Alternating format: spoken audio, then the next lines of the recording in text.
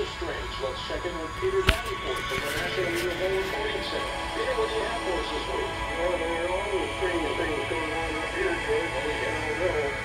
Uh, some interesting reports, including uh, what appears to be an electromagnetic pulse or electromagnetic interference case from Houston. I'll talk about in a minute or so. Looks like Muhammad just might be first one is uh, a true prophet after all, when it comes to one prophecy at least.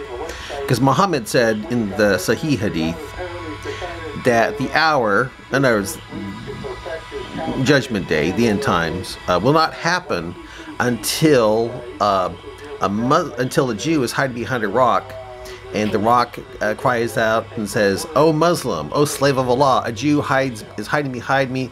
Come and kill him."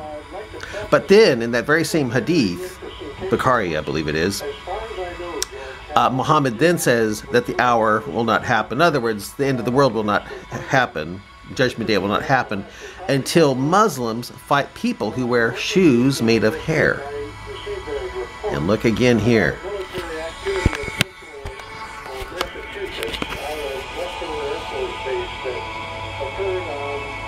uh, Monday morning, the 3rd of October. People were awakened or people saw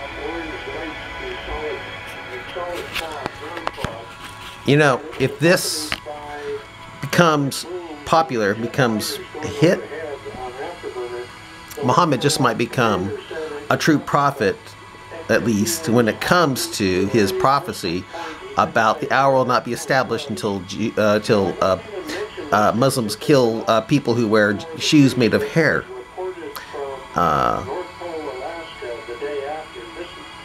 Reported this really does become the fashion statement.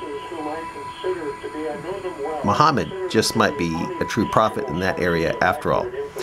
But